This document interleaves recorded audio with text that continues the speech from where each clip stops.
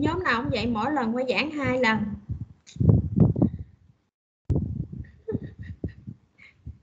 Cô đỡ em ai đỡ cô? Cô đang xỉu này này. Rồi, tạo mới rồi sách nha. Action again. Tạo mới rồi sách nè. Rồi, chọn cho cô cái, nếu mà ở đây mình mình không thấy ha, mình phải tìm ở bên này. Tại vì khi mà mình tạo rồi thì nó mới nhớ ở đây nha tìm cho cô là api.net web application. Cái đó là cái đơn giản nhất đó. Còn cái con mới là mới là đấm đuối nè. À, rồi. Ai, đi tìm api.net có đây à api.net web application C Sharp có một số bạn mình không để ý cái mình chọn VB rồi nó ủa sao lậu quá cái nó không giống như cô. À, mình phải nhìn để ý nha. À, các bạn nhấn nét. Rồi đặt tên cho cô là demo bootstrap hay location lưu được dẫn lại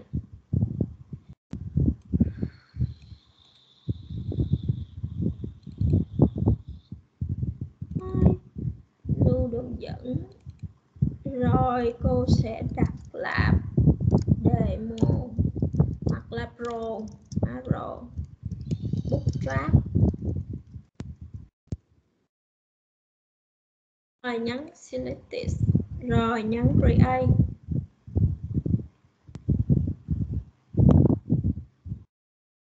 Rồi các bạn chọn cho cô là theo mô hình MVC theo mô hình MVC theo MVC rồi các bạn nhấn create.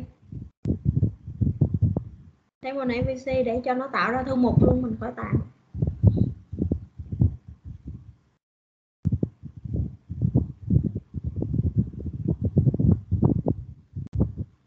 Không đó đây là cái thư mục của nó này.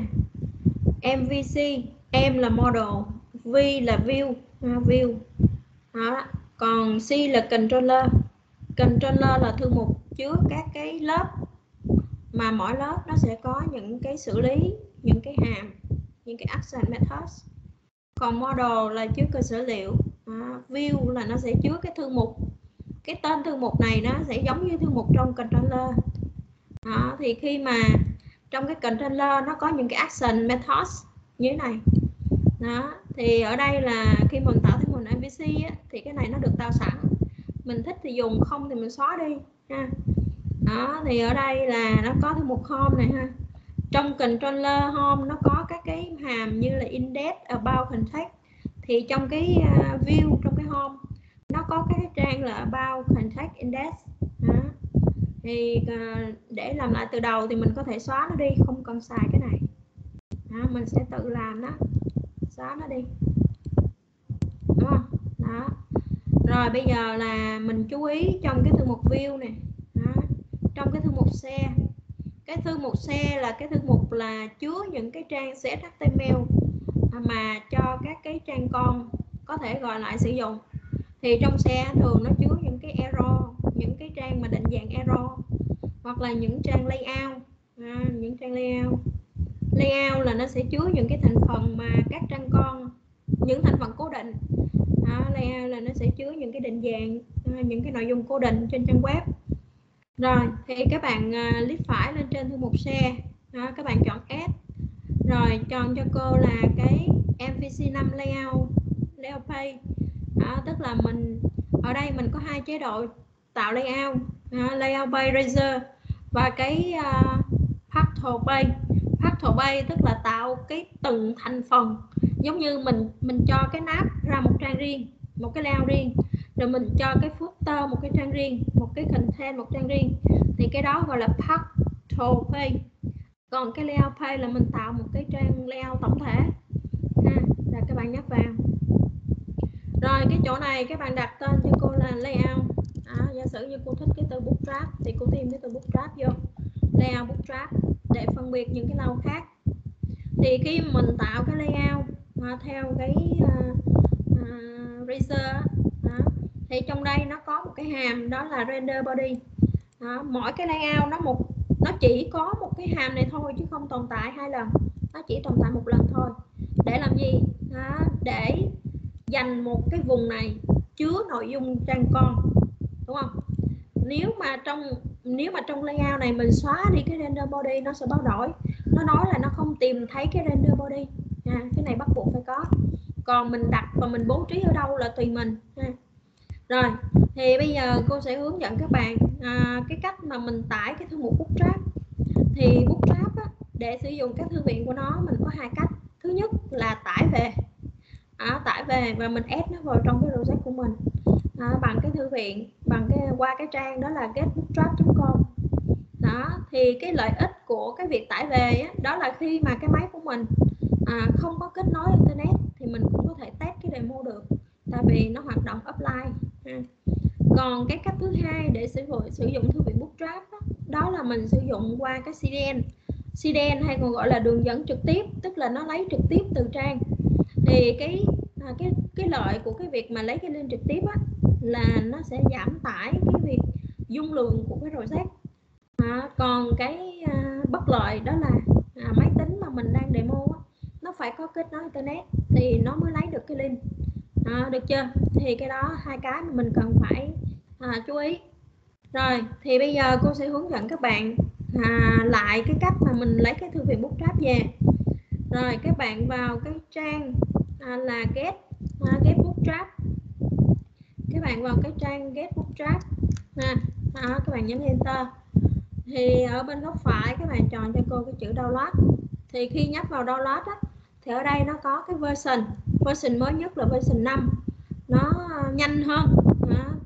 và à, nó sẽ thay những cái à, thư viện jQuery thành là JavaScript ha rồi trước đó là cái version 4.6 và version 3.4 2.3 đó. thì 5 chấm thì nó có nhiều hơn à, có nhiều cái cái à, cái hỗ trợ hơn có nhiều cái định dạng hơn có nhiều lớp hơn đó rồi khi mà bạn chọn á thì ở dưới này à, chọn rồi bạn nhấn download ha. Chọn version nhấn download. Thì chỗ này nó sẽ cái hiển thị cái download này đó, download cái bút bootstrap 5.3.1 đó, các bạn nhấn download. Rồi như vậy là mình đã download thành công rồi ha. Thì bạn kiểm tra cái thư mục tải xuống. À, cô tải xuống trong cái thư mục này. Đó mình tải xuống ha rồi sau đó bạn copy cái file nén này bạn à, à, đặt nó vào trong cái thư mục project và bạn bung nén nó ra. Rồi sau đó thì các bạn xóa cái file nén đi. Đó. rồi à, bạn lưu vào một chỗ nào đó thì bạn ép sao nha. Đó ví dụ như bạn bắt nó ra đúng không? Rồi khi mà bạn bắt ra xong rồi á bạn giải nén đó. Giải nén đó. À, giải nén attack kia luôn đi ha. Attack kia đó đúng không? Thì trong cái bootstrap mình có hai thư mục đó là CSS và JavaScript đó thì bây giờ mình quay về cái project của mình. Đó. thì cô sẽ tạo cái uh, thư mục để chứa các file CSS của cô. Thì khi mà các bạn tạo cái project thêm hình MVC đó, thì cái content nó có sẵn bootstrap nhưng mà cái bootstrap này là bootstrap cũ uh, version 3 chấm. Thì các bạn có thể xóa nó đi nó không cần cũng được đúng không? Xóa nó đi. Đó. rồi sau đó thì bạn uh, tạo một cái thư mục. À, bạn tạo một cái thư mục. À, bạn sẽ lưu là à, bạn sẽ đặt là à, set s đi ha. Đó, cho nó gọn. Rồi sau đó thì bạn thêm một cái đó là gs ha gs rồi sau đó thì bạn click phải lên cái set s các bạn nhấn s các bạn chọn cho cô là à, exciting item rồi các bạn vào cái nơi mà hồi nãy mình bung cái file nén ra đó. Rồi mình bung cái file nén ra đây ha. Rồi đây ha mình vào à, CSS ha. Rồi mình nhấn Control A mình ép nó vô. Đó mình xài cái version 5 chấm luôn đó, cho nó hoành tráng. Rồi mình ép nó vô. Đó. Rồi bạn uh, chọn các file JavaScript được chưa? Đó mình có cái thư viện này rồi. Ok ha rồi. Rồi bây giờ là mình sẽ ép thư viện nó vô ha. Thì trước khi ép ra mình phải xác định mình làm cái gì rồi mình ép.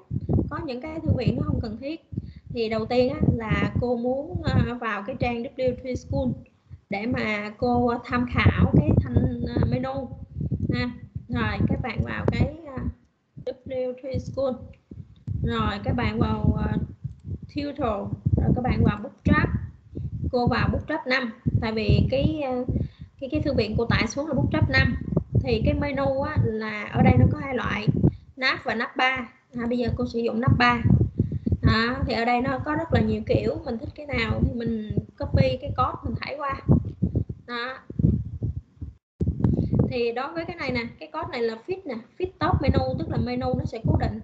À, khi mà mình lăn chuột xuống á, thì cái menu nó không bị trôi. Đó, tùy mình các bạn thích cái nào thì các bạn chọn ha.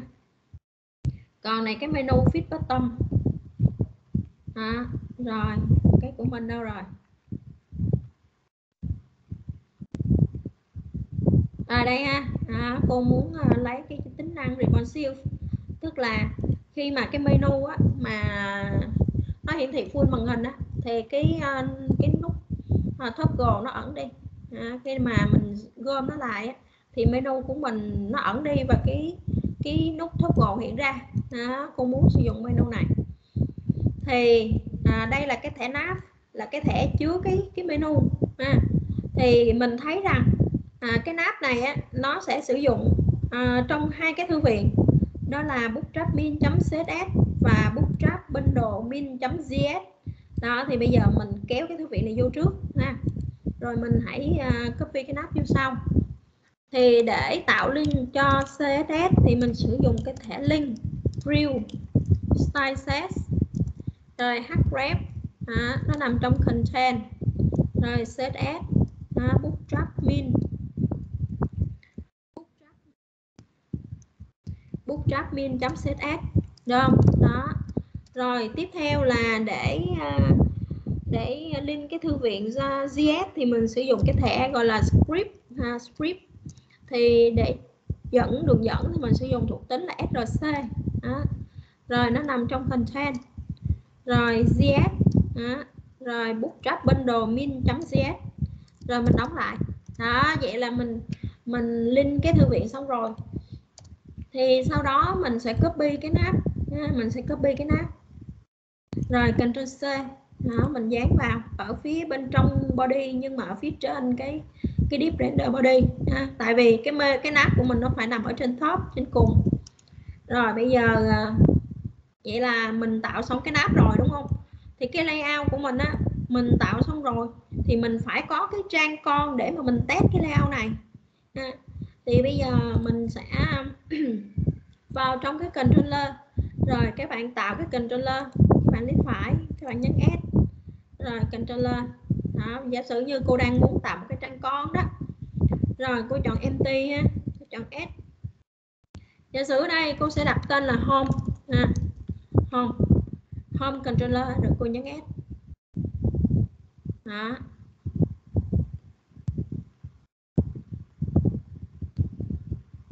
Rồi thì khi mà mình tạo controller thì nó sẽ cho mình cái à, cho mình sẵn cái hàm này còn bạn không thích thì bạn có thể xóa nó đi. Ừ. Đó rồi. Thì bây giờ ở đây là nó sẽ hiển thị cái cái chân con. À, bây giờ cô click phải. Thì các bạn thấy khi mà khi mà mình vừa mới tạo controller home xong đó, thì trong view nó có render ra thư một home đúng không? Thì bây giờ cô sẽ render cái hàm này sang view để mà cô ờ, tạo một cái trang hiển thị hay gọi là home cái trang con đó, đó. Cái web page đó để hiển thị lên trên trang web. Được chưa? Đó, thì các bạn thấy là mình chưa làm thì thư mục home chưa có này. Rồi mình add view. Đó. được chưa? Thì mình có thể giữ nguyên cái chữ cái index hoặc là mình đổi tên tùy. Trong cái views ở layout bay đó các bạn nhấp vào ba dấu chấm. Rồi mình vào view mình vào share. Thì cô sẽ chọn cái layout mà mình đang thiết kế này sau đó bạn nhấn ok. Rồi bạn nhấn add. Được chưa? Thì các bạn thấy trong thư mục home nó sẽ à, có cái trang index.html mình vừa mới render ra nè thấy không? Ví dụ như cô đặt ở đây là trang chủ chẳng hạn. Ha. được chưa? Thì tức là cái trang chủ này nè nó đang sử dụng cái layout layout uh, bootstrap. Đây là cái nội dung của trang chủ nha. Đó. Ví dụ như đây là nội dung của trang chủ đúng không? Thì những cái nội dung này à, những cái nội dung này nó sẽ được à, đổ vào trong cái phần render body. Nó sẽ đổ vào trong cái cái div này. Được chưa? Đó. Rồi khi chạy á, là mình chạy trang con nha. Cái layout không phải là trang để chạy nha là trang để thiết kế layout. Đó. Mình chạy cái trang con. Rồi. Cái trang à, mà đang sử dụng cái layout đó. Rồi bạn nhấn F5 mình chạy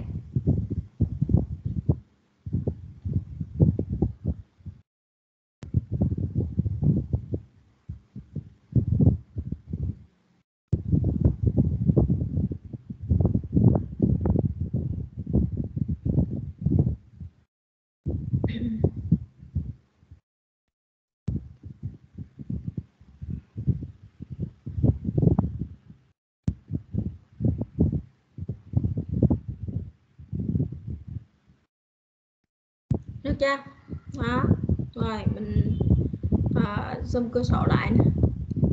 Đúng không? Đó. thì đây là cái à, menu. Thay vì mình tự gõ tự thiết kế CSS ờ, cho các lớp thì mình sử dụng thư viện Bootstrap. Đó đây là nội dung của trang chủ nè. Đó, tức là sao? Ở trong cái phần layout này. Đó. Phần ở trên cùng là thanh nắp 3 đúng không? Còn ở phía dưới nắp 3 là nội dung của cái trang chủ tức là render body đó. à, thì tức là cái nội dung này nó sẽ đổ vào trong đây nè. Rồi đó. Rồi. Thì giả sử như uh, cô uh, trong cái trang chủ cô tạo nhiều cái trang con. Để mà à, khi mà mình thay đổi nội dung khi mà mình vào cái trang con á, thì cái phần phần menu nó sẽ cố định. À, để cho bạn hiểu hơn là cái master layout nó như thế nào. Thì các bạn vào home controller nha cô thêm một cái trang nữa. Ví dụ như action results. Ví dụ như à, cô đặt là product. À, return view. Return view là return ra một cái khung nhìn cái trang trang bay ha web bay gọi là view. Rồi. Rồi bây giờ cô sẽ ren cái uh, cái product method sang view. Các bạn thấy bên đây là nó chưa có nè ha. Rồi. Rồi cô sử dụng cái layout master ha. Đó bây giờ product nè. Giả sử như cô có một cái đoạn đây là trang product. Đúng không? Thì bây giờ cô sẽ tạo link cho cái ờ, menu. Đó, cái menu á, nó đang là href rồi nó đang là thăng tức là nó chưa được liên kết. Thì bây giờ cô sẽ cho cái này là trang chủ à, còn này là product đúng không? Thì khi mà cô nhấp vào cái trang chủ nó sẽ mở cái trang chủ ra nó sẽ hiển thị cái trang chủ đúng không? À, thì cái trang chủ nó đang nằm ở đâu? À, nằm trong cái controller home. Để tạo cái đường dẫn thì đầu tiên là mình gọi lại cái tên controller. À, controller. Và xuyệt sau đó là cái tên action action name hay còn gọi là method name đó đó, tức là mỗi cái cái method name này là nó sẽ hiển thị một trang một trang HTML đó. thì cái cách để link là đầu tiên là tên controller tức là cái tiền tố của controller đó, mình không cần phải gõ chữ controller.cs mà mình, ở phía trước controller là cái tên của controller không? rồi duyệt không duyệt index à. còn tiếp theo là cái ha, product ha. Suyệt home tức là tên controller. Suyệt product. Ha, product. Rồi các bạn nhấn S control S. Rồi mình chạy cái trang chủ ha. Chạy trang chủ.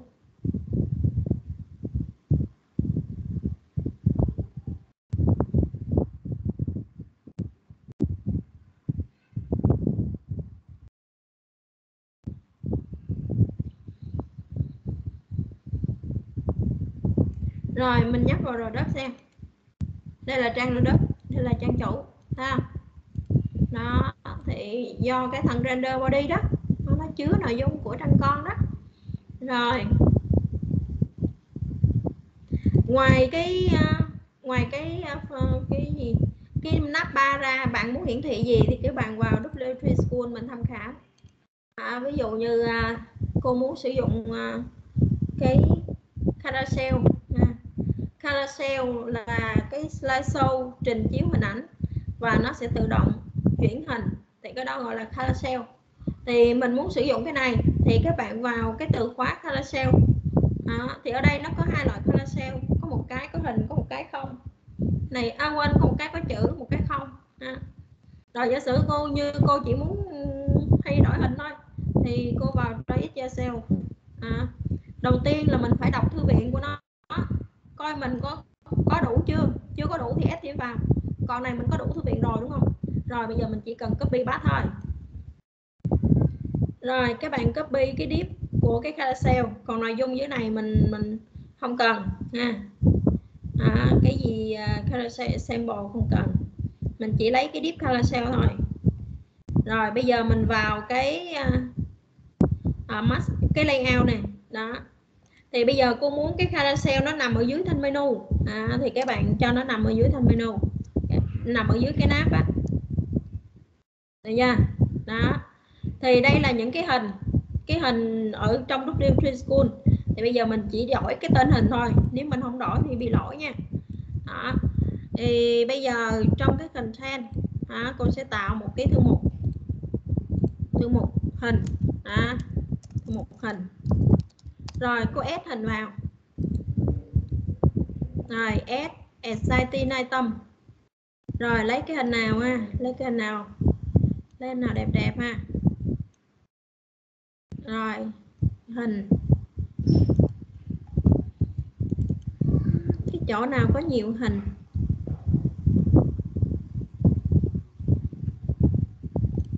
Rồi, ở trong đây, đúng rồi.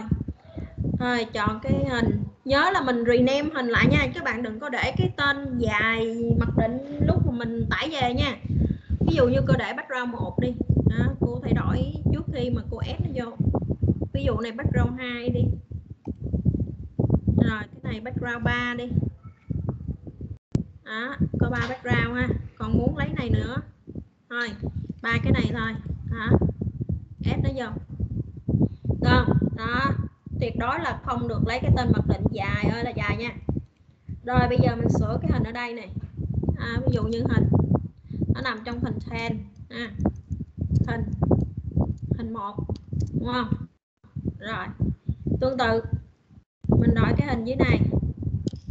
Content hình đó background 2 rồi content đó, hình. Rồi background 3 content S. Rồi để mình coi coi cái hình nó như thế nào rồi mình chỉnh tiếp ha. Rồi. Rồi các bạn à, coi cái hình coi nó có bị vỡ hay không. Không thì mình phải à, đi tìm cái hình sao cho nó à, giống như đúng cái kích thước à, ví dụ như bao nhiêu đó 1200 pixel đó. Ừ. cái hình này cũng được ha. Được không? Đó.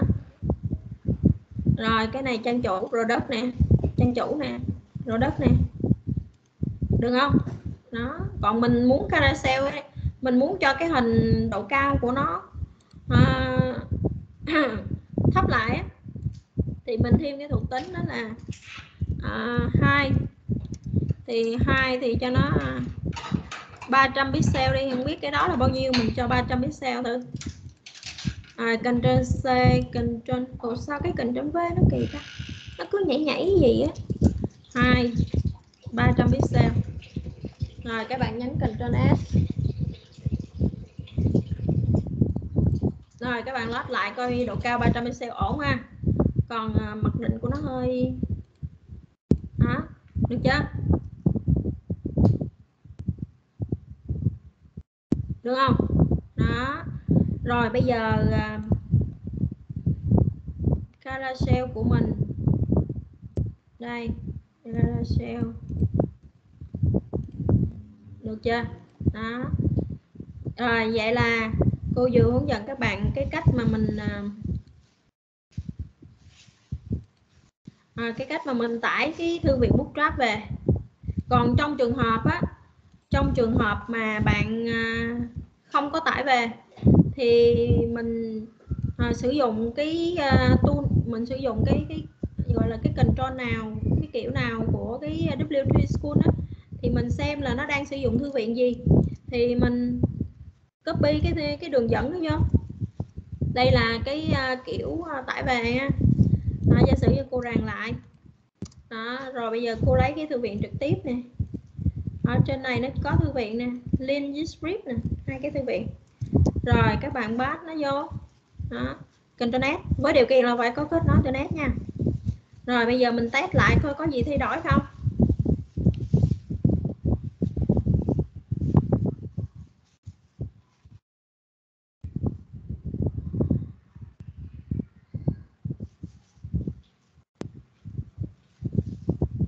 Chưa vẫn bình thường ha đó. Được không? Tức là mình có hai cách ha. Có hai cách sử dụng bootstrap. Lấy link trực tiếp hoặc tải về. Ok chưa? Ổn chưa? À, chắc là ổn rồi rồi bây giờ các bạn à, làm cho cô cái à, các bạn làm